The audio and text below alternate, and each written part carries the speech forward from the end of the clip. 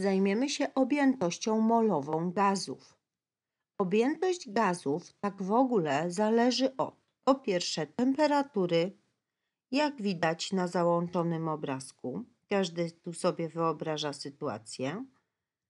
Oraz od ciśnienia, jak też widać na załączonym obrazku. Im wyższe ciśnienie, tym gaz bardziej ściśnięty, objętość jest mniejsza. Ale my się tu mamy zająć objętością molową gazów i objętość molowa gazu to objętość, jaką zajmuje 1 mol gazu w określonych warunkach ciśnienia i temperatury. Ale zajmiemy się takim specyficznym przypadkiem, czyli objętością gazu w tak zwanych warunkach normalnych, czyli 0 stopni Celsjusza 1013 hektopaskali.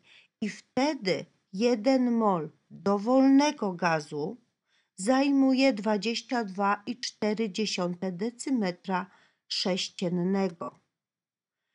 Co my wiemy z tego mola? Wiemy, że 1 mol to jest według liczby Avogadra tyle cząstek. Ale 1 mol, który ma tyle cząstek, może mieć różną masę molową i obliczanie masy molowej oczywiście jest na innym filmiku. 1 mol tlenu waży 32 gramy, bo jego masa molowa tyle wynosi. 1 mol dwutlenku węgla 44 gramy, bo jego masa molowa tyle wynosi. 1 mol azotu 28 gramów, bo jego masa molowa tyle wynosi. I wszystkie te gazy zajmują 22,4 decymetra sześciennego objętości bez względu ile ważą, bo to jest 1 mol. I mamy zadanie pierwsze. Mamy obliczyć, jaką objętość w warunkach normalnych zajmuje pół mola chloru. Sprawa jest banalnie prosta, bo wiemy, że 1 mol, nieważne czy chloru, każdego gazu zajmuje 22,4 decymetra sześciennego.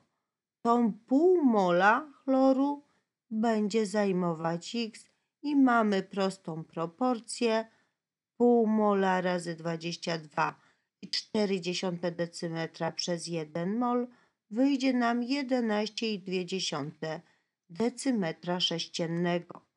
Zadanie drugie. Oblicz jaką objętość w warunkach normalnych zajmuje 20 gramów amoniaku. Tu mamy już masę. Policzmy sobie masę molową amoniaku. No wiemy, 14 plus 3 wodory wyjdzie masa molowa 17 gramów na mol, czyli 1 mol waży 17 gramów. 1 mol, czyli 17 gramów, zajmuje 22,4 decymetra sześciennego, no bo to jest 1 mol i 1 mol tego gazu zajmuje taką objętość. Ale my nie mamy 17 gramów, my mamy 20 gramów i proporcjonalnie X będzie zajmował ten gaz objętości. No i mamy proporcję. X będzie się nam równało 20 gramów razy 22,4 decymetra sześciennego przez 17 gramów i wyjdzie nam 26,35 setne decymetra sześciennego. Zadanie trzecie. Oblicz jaką objętość w warunkach normalnych zajmuje 3,01 razy 10 do 23 cząsteczek tlenku węgla 4.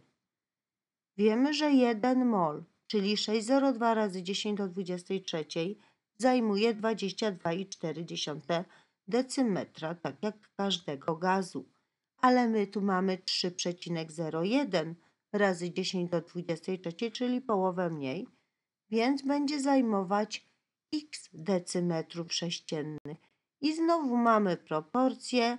x to się równa 301 razy 10 do 23 razy 22,4 decymetra sześciennego przez 602 razy 10 do 23 i jak wykonamy działanie, wyjdzie nam 11,2 decymetra sześciennego.